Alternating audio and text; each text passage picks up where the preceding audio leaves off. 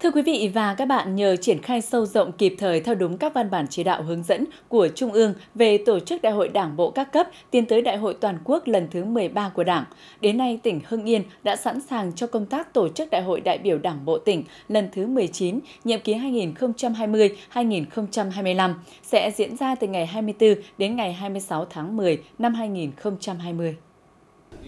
Vào ngày 18 tháng 9 vừa qua, đoàn đại biểu đại diện cho Ban chấp hành Ban Thường vụ tỉnh Hưng Yên do đồng chí Đỗ Tiến Sĩ, Ủy viên Ban chấp hành Trung ương Đảng, Bí thư tỉnh ủy, trưởng đoàn đại biểu Quốc hội tỉnh làm trưởng đoàn cùng các đồng chí trong thường trực tỉnh ủy, thường vụ tỉnh ủy đã báo cáo Bộ Chính trị, Ban Bí thư Trung ương Đảng về công tác chuẩn bị tổ chức Đại hội đại biểu Đảng bộ tỉnh Hưng Yên lần thứ 19 nhiệm kỳ 2020-2025,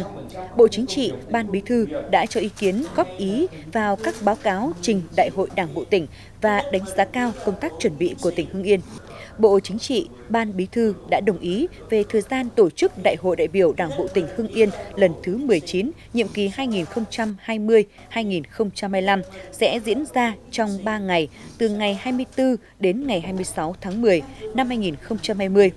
kế thừa những thành quả đã đạt được trong những nhiệm kỳ trước. Nhiệm kỳ này, Bộ Chính trị, Ban Bí thư đều thống nhất cao với dự thảo nghị quyết Đại hội Đảng bộ tỉnh Hưng Yên với mục tiêu trọng tâm là phát huy tối đa tiềm năng là tỉnh giáp thủ đô Hà Nội nằm trong vùng kinh tế trọng điểm phía Bắc để đưa Hưng Yên có bước phát triển đột phá trong thời gian tới làm tốt công tác quy hoạch, sử dụng đất, phát triển hạ tầng, đẩy mạnh thu hút dự án lớn vào đầu tư, nông nghiệp phát triển công nghệ cao, nông nghiệp sạch, để Hưng Yên sẽ gắn liền với những thương hiệu lớn từ công nghiệp, đô thị, dịch vụ cho tới nông nghiệp.